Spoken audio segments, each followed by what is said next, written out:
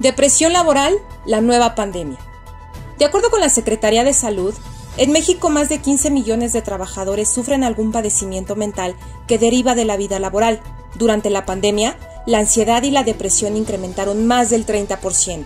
Se asegura que la intimidación y la violencia psicológica son las principales causas de acoso laboral que provocan un impacto negativo en la salud mental.